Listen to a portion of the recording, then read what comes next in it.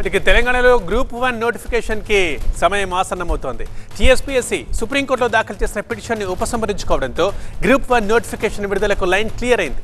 గత ప్రభుత్వం హయాంలో గ్రూప్ వన్ పరీక్ష రద్దు చేసి మళ్ళీ నిర్వహించాలని గతేడాది హైకోర్టు తీర్పు ఇచ్చింది అయితే ఈ తీర్పుని సవాల్ చేస్తూ టీఎస్పీఎస్సీ సుప్రీంకోర్టులో పిటిషన్ దాఖలు చేసింది. కానీ ప్రస్తుతం మారిన పరిస్థితులతో కొత్తగా ఏర్పాటైన చైర్మన్ సభ్యులు గ్రూప్ వన్ పై సుప్రీంకోర్టులో టీఎస్పీఎస్సీ దాఖలు చేసిన పిటిషన్ని ఉపసంహరించుకున్నారు. దీంతో గ్రూప్ వన్ నోటిఫికేషన్ విడుదలకు అడ్డంకులు తొలగిపోయాయి. ఇక గ్రూప్ వన్ పోస్టుల భర్తీకి సంబంధించి ఇప్పటికే రేవంత్ రెడ్డి ప్రభుత్వం కీలక నిర్ణయం తీసుకుంది. గతంలో ఐదు వందల మూడు పోస్టులతో గ్రూప్ వన్ నోటిఫికేషన్ విడుదల చేయగా ఇప్పుడు వాటికి అదనంగా మరో అరవై పోస్టుల్ని భర్తీ చేసేందుకు అనుమతినిచ్చింది దీంతో ఐదు వందల అరవై మూడు పోస్టులతో గ్రూప్ వన్ అనుబంధ నోటిఫికేషన్ విడుదలయ్యే అవకాశం ఉంది. మా సీనియర్ కరస్పాండెంట్ విద్యాసాగర్ మరింత సమాచారం అందిస్తారు? విద్యాసాగర్ ఇక అన్ని క్లియర్ అయిపోయాయి కాబట్టి ఎప్పటిలోగా గ్రూప్ వన్ ఉండొచ్చు? ఎలాంటి చర్చ జరుగుతోంది?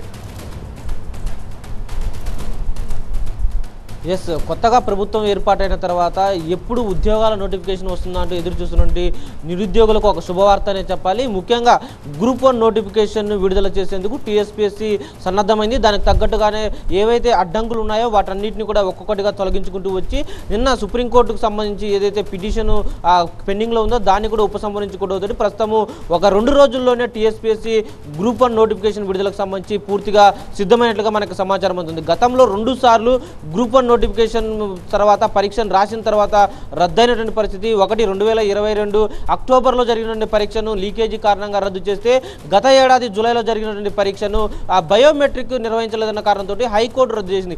ఆ హైకోర్టు రద్దు చేసిన తర్వాత హైకోర్టు నిర్ణయం మీద అప్పటి టీఎస్పీఎస్సీ బోర్డు చైర్మన్గా ఉన్నటువంటి బోడ జనార్దన్ నేతృత్వంలో ఆ సుప్రీంకోర్టులో సవాల్ చేయడం జరిగింది. సుప్రీంకోర్టులో నుండి కేసు అలాగానే పెండింగ్ ఉన్న నేపథ్యంలో కొత్తగా కాంగ్రెస్ ప్రభుత్వం వచ్చిన తర్వాత టీఎస్పీఎస్సీ ప్రక్షాళన చేసిన తర్వాత మాత్రమే నియామకాలకు సంబంధించి నోటిఫికేషన్ విడుదల చేస్తామని చెప్పారు. దానికి తగ్గట్లుగానే చకచక పాత బోర్డులో ఉన్నటువంటి సభ్యుల రాజీనామా కావచ్చు కొత్తగా టీఎస్పీఎస్సీ చైర్మన్గా మహేందర్ రెడ్డి అదేవిధంగా పలువురు సభ్యుల బాధ్యతల స్వీకరణ తర్వాత గ్రూప్ వన్ నోటిఫికేషన్కి సంబంధించి గతంలో ఐదు వందల మూడు పోస్టులతోటి నోటిఫికేషన్ ఉంటే దానికి అదనంగా ఇటీవల ప్రభుత్వం మరొక అరవై పోస్టులను గ్రూప్ వన్ కేటగిరీలో గుర్తించి వాటి నియామకానికి కూడా ప్రతిపాదనలను టీఎస్పీసీకి పంపించింది. ఈ నేపథ్యంలో ఐదు వందల అరవై మూడు పోస్టుల కొత్తగా ఉన్నటువంటి గ్రూప్ వన్ నోటిఫికేషన్ రావాలంటే గతంలో పెండింగ్లో ఉన్నటువంటి కేసును ఉపసంహరించుకోవాల్సిన పరిస్థితి ఉన్న నేపథ్యంలో అక్కడి నుంచి కూడా ఆ ఉపసంహరణతోటి ఇప్పుడు ప్రస్తుతము గ్రూప్ వన్కి ఎలాంటి అడ్డంకులు లేవు. ఐదు వందల అరవై మూడు పోస్టులకు ఒక రెండు మూడు రోజుల్లోనే కొత్తగా నోటిఫికేషన్ రాబోతుంది. అదేవిధంగా టీఎస్పీఎస్సీకి సంబంధించి మరొక గుడ్ న్యూస్ కూడా ఏంటంటే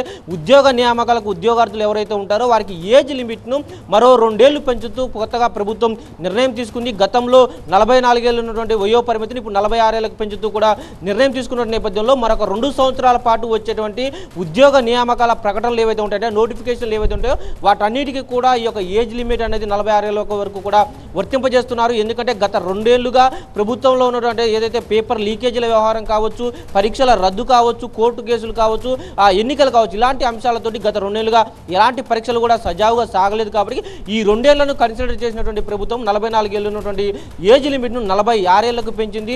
ఇది రెండేళ్ళ పాటు అమలులో ఉంటుంది. గ్రూప్ వన్నే కాదు ఇతర టీఎస్పీఎస్సీ నుంచి.